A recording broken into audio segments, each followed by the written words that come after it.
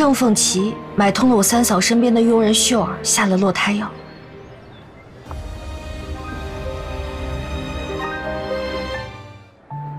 你知道吗？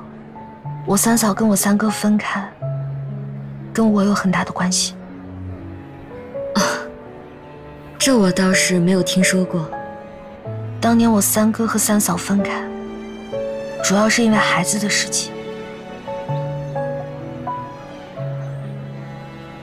是我对不起他，他们的孩子怎么会和你有关系？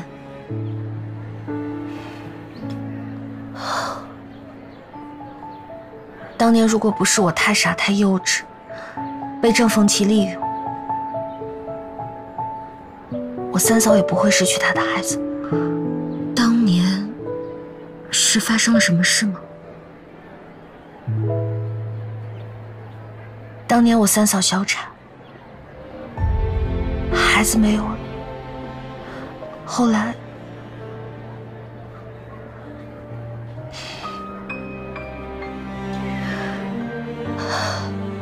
后来莫伟义他们找到了证据，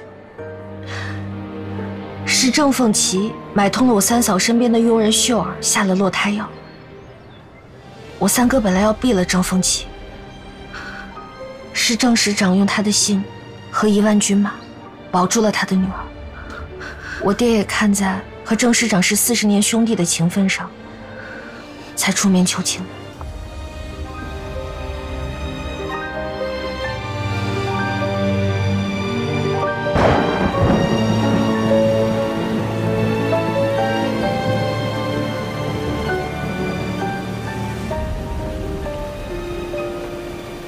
当年如果不是我太傻太幼稚，被郑凤琪利用，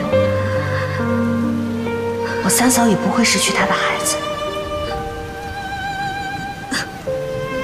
是郑凤琪买通了我三嫂身边的佣人秀儿，下了落胎药。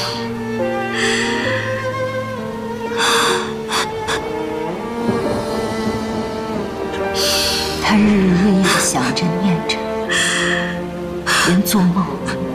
喊的都是行情。韩君，你怎么了你？这下着雨呢，